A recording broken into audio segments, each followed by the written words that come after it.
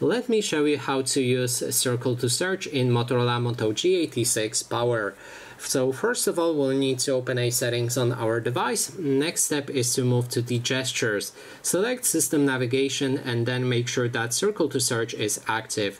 Now to actually use it, first to call it out, you need to click and hold the home button, uh, the circle right here.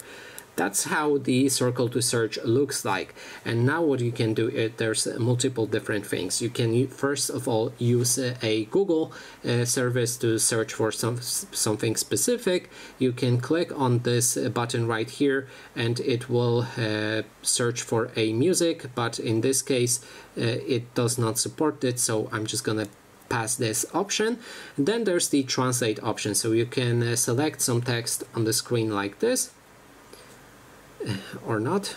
Okay, let's try again. Click on translate.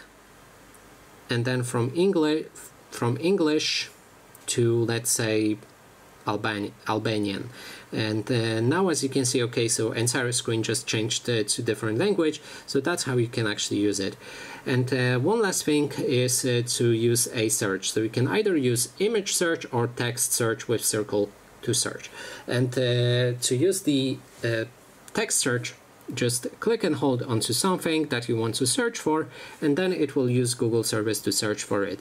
Additionally, you can click on a specific image and then it will perform a image search on your uh, Google. And that is basically everything. Thanks so much for watching.